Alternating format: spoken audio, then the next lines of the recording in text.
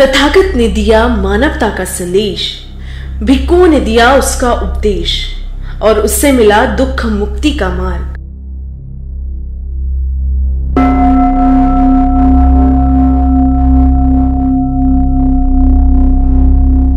UC Buddha की खास पेशकश।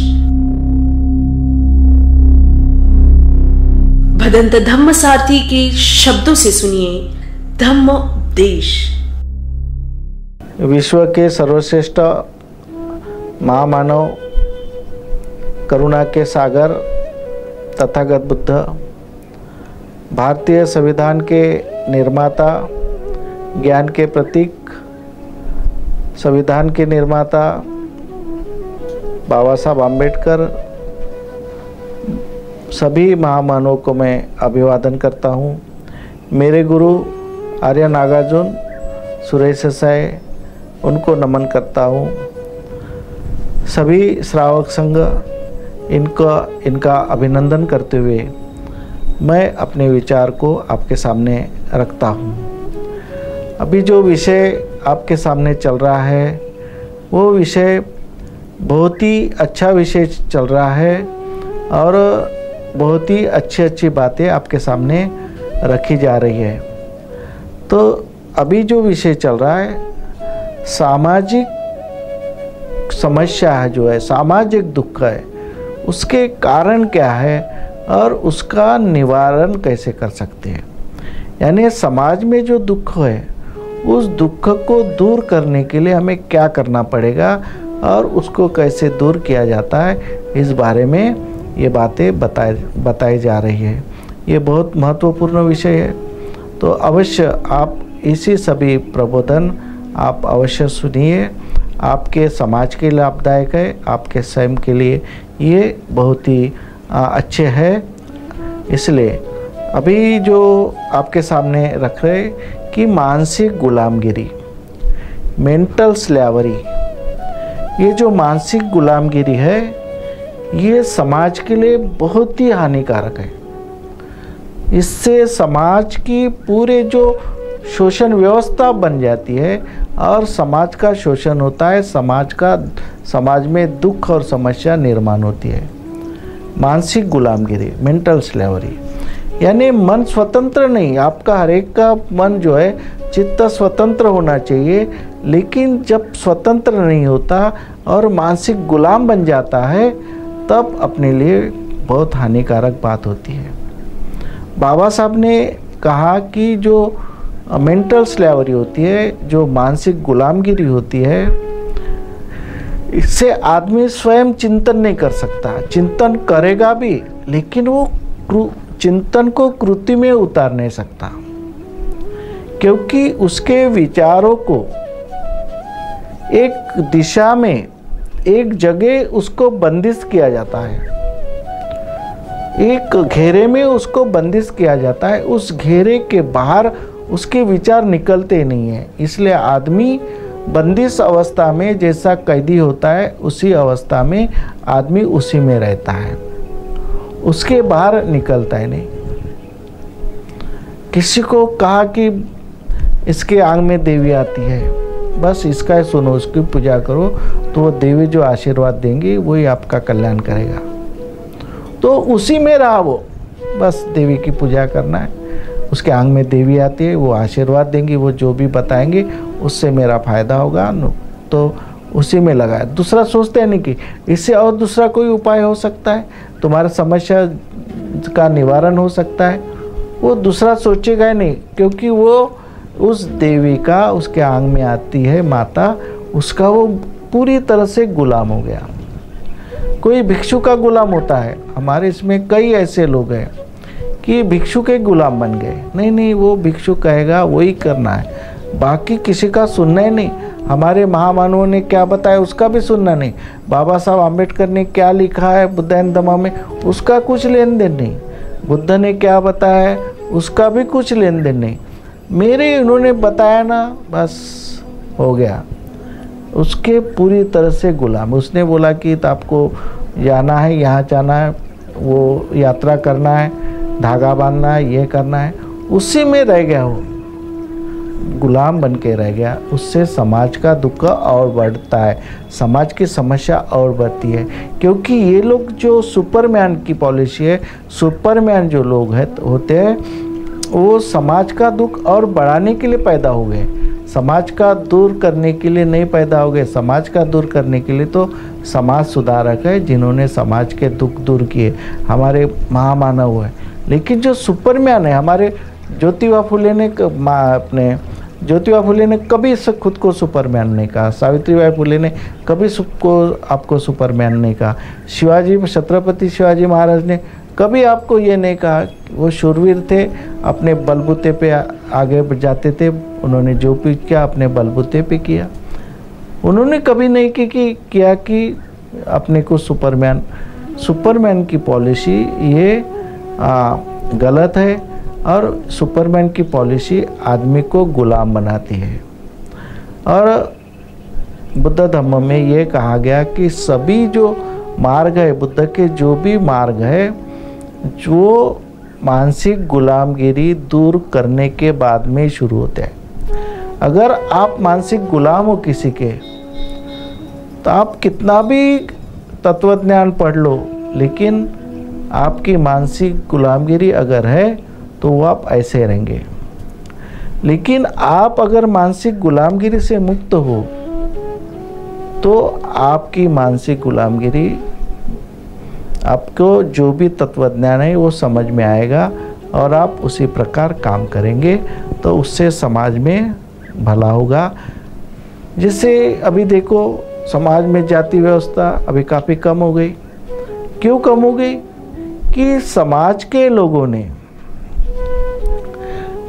जब समाज, पूरा बहुजन समाज मानसिक गुलामगिरी से मुक्त हो रहा है सभी पूरा समाज मानसिक गुलामगिरी से मुक्त हो रहा, इसलिए आज सभी समाज में आज मानवता निर्माण हो रही, नैतिकता निर्माण हो रही, सभी समाज में बंधुभाव निर्माण हो रहा। अगर हम मानसिक गुलामगिरी में फंसे रहेंगे तो ये स्वतंत्रता कभी मिल नहीं सकती। आदमी स्वतंत्र नहीं रहेगा। तो बाबा साहब ने कहा कि मानसिक गुलाम करने वाली जो है, पाँच बातें हैं। पाँच बातों से मानसिक गुलामगिरी बनती है। यानी आदमी मानसिक गुलाम होता है।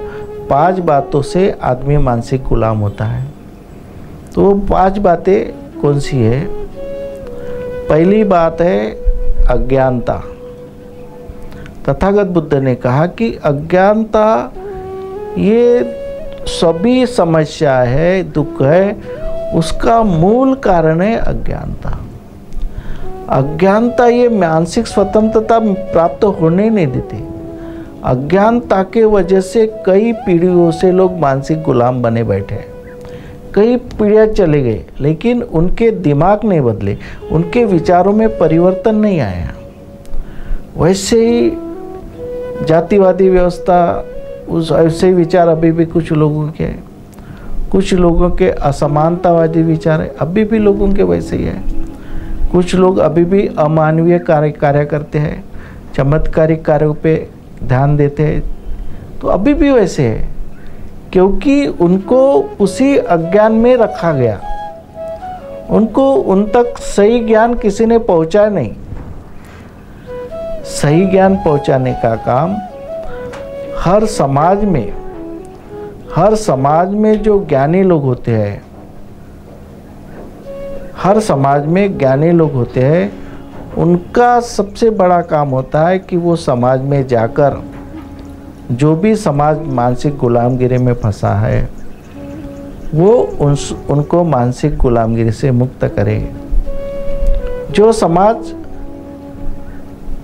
एक सुपर पावर में फंसा हुआ है, super power super power, Divya शक्ति दिव्य शक्ति में फंसा हुआ है, उसके बाहर हम निकालेंगे।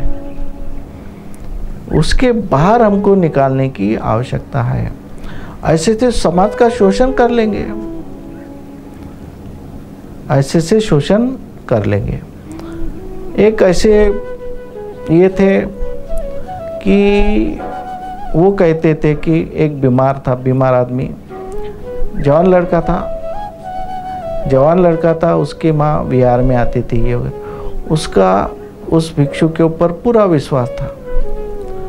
वो कहने लगी कि उसका लड़का काफ़ी बीमार तो बोले, ऐसा करो, बोले, ये सब वंदना होने के बाद, सब वंदना ख़त्म हो जाने, होने के बाद आप उस बच्चे को लेके आओ।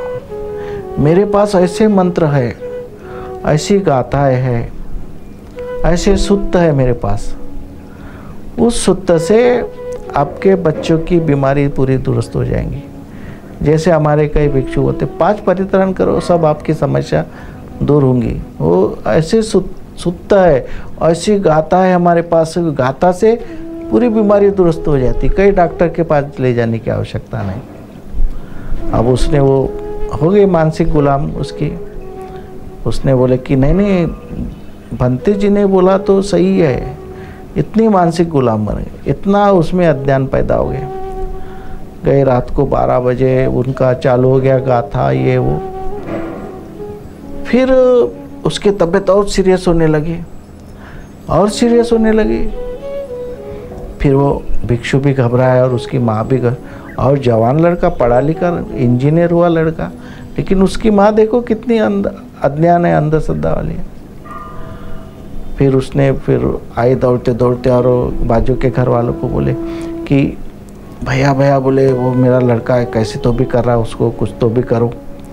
तो फिर वो आए आदमी और उसको बोले कि चलो दवाखाने में लेके जाते उसने बताया नहीं कि ऐसे ऐसे हमने कार्यक्रम किया बिहार में। चलो बोले दवाखाने में लेके जाते बारह बजे फिर डॉक्टर को उठा कर के उसको एडमिट किया और डॉक्टर ने कहा कि अगर आधा एक घंटा अगर नहीं लाते, आधा घंटा आपको थोड़ा देर हो जाता था तो ये बच्चा आपका बचता नहीं था। तो उसको दवा पानी दे करके उसको दुरुस्त किया। दुरुस्त होने के बाद में उसके माँ के दिल से वही अंधश्रद्धा गई नहीं? नहीं नहीं, वो उससे ही हो गया मेरा। दवाखाने से कुछ नहीं हुआ। इस तरह से अज्ञान जो होता है, वो आदमी को मौत घाट उतारता है।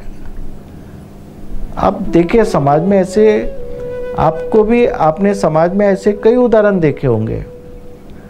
अज्ञानता के वजह से हमारा जितना नुकसान हुआ, इतना नुकसान किसी किसी कारणवश नहीं हुआ।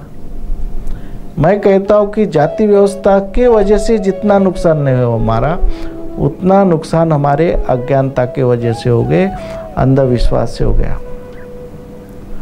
इसलिए हम सत्य को जाने।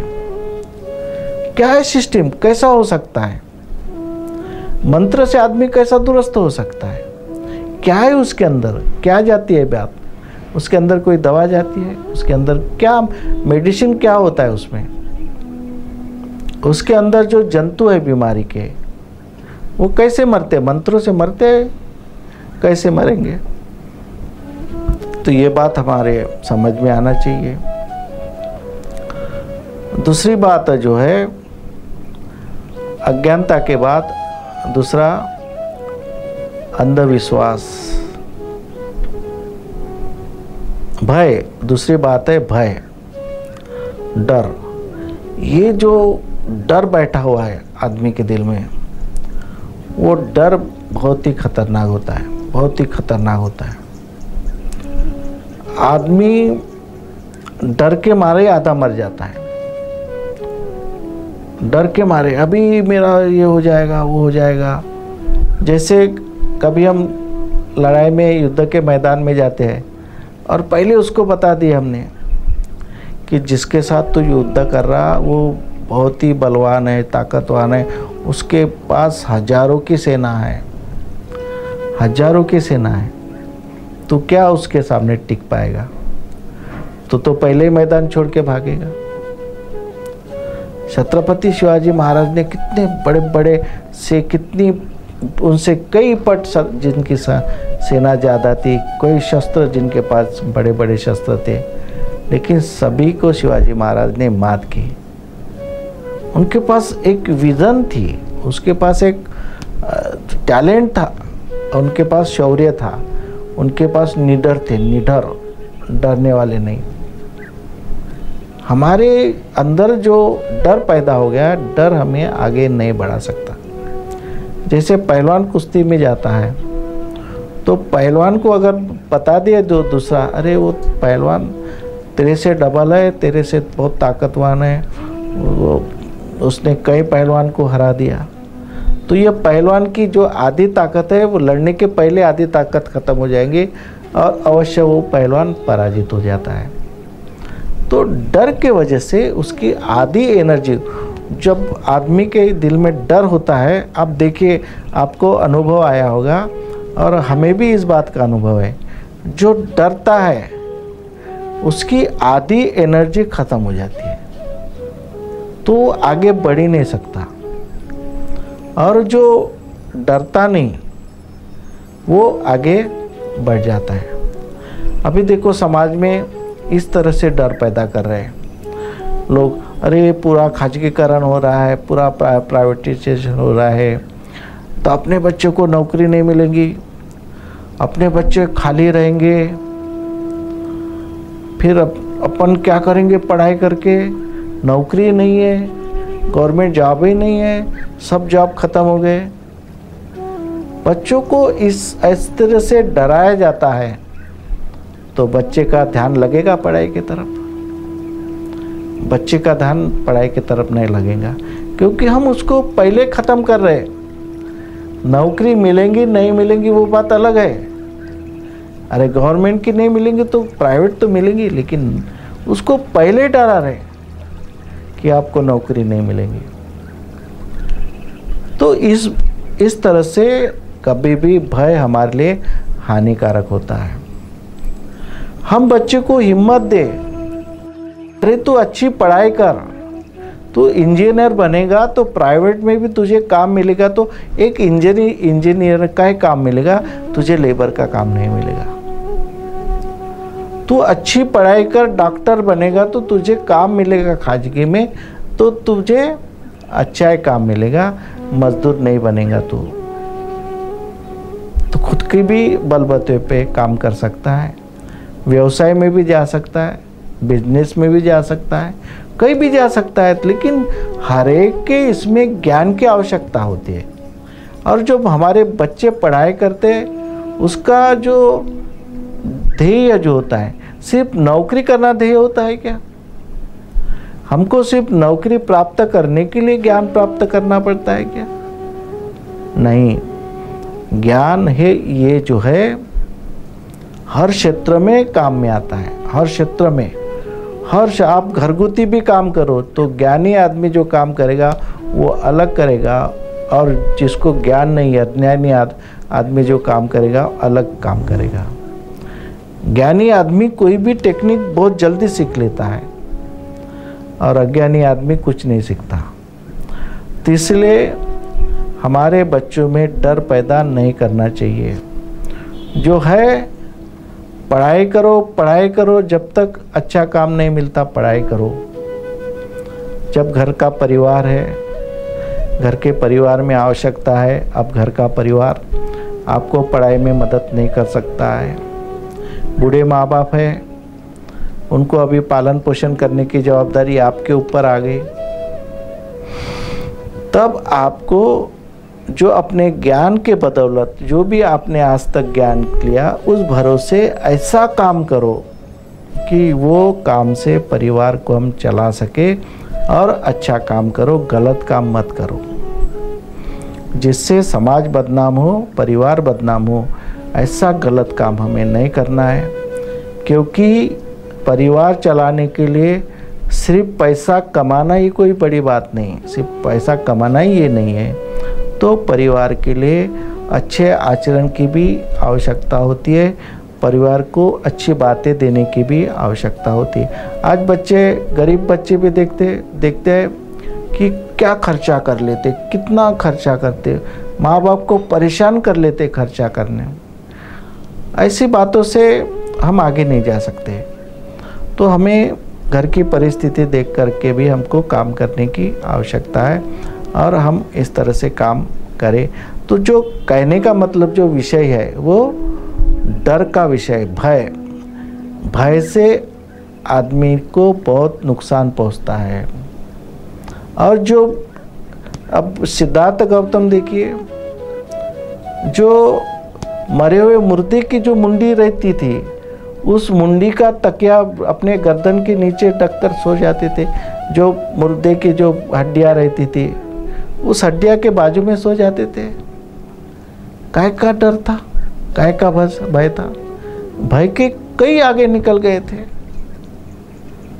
पीपल के वृक्ष के नीचे मत बैठो, पीपल के वृक्ष से के नीचे रहोगे तो आदमी ख़त्म हो जाएगा। उसमें एक निकलता है भूत भैरव निकलता है, वो मार डालता है। सिद्धार्थ गौतम ने कहते मैं तो इसी में बैठू, बैठूँगा। मैं देखूँगा भय भैरव कैसा होता है। वो क्या करता है मैं देखूँगा। तो उन्होंने हिम्मत लगाई, भय, डर को निकाल दिया। तब उनको ज्ञान प्राप्त हुआ। उन्होंने सही चिंतन, जिसके दिमाग में डर रहता है, भय रहता है, वो सही चिंतन नहीं कर सकता। सही चिंतन नहीं कर सकता, क्योंकि जो डर रहता है, वो उसके चित्त को विचलित कर लेता है, मन को विचलित कर लेता है। अगर कोई बच्चा डरने वाला हो, उसको पूरा घर बंद कर दो और उसको बोलना कि अभी आप अकेले एकांतवास है, आप इसमें अच्छी अच्छी पढ़ाई कर दें, करेंगे तो एकांतवास है। लेकिन अगर उसके चित्त में भय है, डर है तो कितना भी एकांतवास मिले, उसका मन विचलित होगा। कहीं आवाज़ आएगा तो ये तो नहीं आ रहा, कोई ये तो डरते रहेगा वो। लेकिन जिसके चित्त से भय निकल गया तो एकांतवास में ज़्यादा ज़्यादा अपने मन को कंसंट्रेशन कर सकता है, चित्त को एकाग्र कर सकता है। तो भय हमारे महामानवों ने निकाल दिया। भय निकाल दिया, इसलिए समाज की प्रगति हो गई। अगर हम डरते रहते तो समाज उन्नति नहीं कर सकता था। इसका, देवी का डर तो इसका डर तो वो भूत का डर तो इसका ये सब डराते रहते। छीक आ गए तो भी डरो। कितना गलत सिस्टम था, कोई आड़ा बिल्ली आड़ी गई तो भी डरो। ऐसी इस तरह से डरा डरा करके हमको इतना समाज में इतना एक समस्या निर्माण होगी डर के वजह से। इसलिए समाज को अगर हम अच्छा बना सकते और मानसिक गुलामगिरी अगर ख़त्म करना चाहते हो क्योंकि मानसिक गुलामगिरी है, समाज के दुख का कारण है। सामाजिक दुख का कारण मानसिक गुलामगिरी है। तो हम समाज को निडर बनाओ और जो अंधश्रद्धा है, उसमें से समाज को निकालने का प्रयास करो। और भय की बात है, भय की बात बिल्कुल डर निकाल दो। तथागत बुद्ध ने कहा कि तुम जो गलत काम करते हो, बुरे काम करते हो एक आधी बच्चा अकेले में सिगरेट पीता है, उसमें गांजा भी डाल देता है, पीता है। उसको डरो, गलत काम है उसको डरो, चाहे कोई देखे या ना दे, लेकिन ये काम मैं गलत कर रहा हूँ। वो गलत कामों का हमें डर करना होना चाहिए। कोई चोरी करता है अंधेरे में, कोई देखता नहीं, कुछ नहीं। तो तुम गलत कामों को डरो, चोरी मत करो। क्योंकि एक बार पकड़े गए तो आपको सजा होने वाला है। वो काम का दुष्परिणाम जिसको कहते हैं कि जो गलत काम है, उसके दुष्परिणाम बहुत है। बहुत दुष्परिणाम है। आप बोलते कहेंगे कि मैं गलत काम करूँगा तो किसी को भनकने लगेंगी। तो गलत काम करने के लिए डरो। तथागत बुद्ध ने कहा कि भय है, वो डरना है तो गलत कामों को डरना है और गलत कामों से त्याग करना है। लेकिन भय जो है, अच्छे काम के लिए काय का डर है? अच्छा काम करने के लिए कोई भी समय अच्छा है, कोई भी जगह अच्छी है, और कोई भी जो स्थल है वो अच्छा है। गलत कामों के लिए हमको डरना पड़ता है। तो जो डर निकालो, मानसिक गुलामगिरी से मुक्त हो जाओ, और समझ को, समाज की जो दुख है वो दूर करो। नमो बुद्धाय, जय भीम। जय भारत।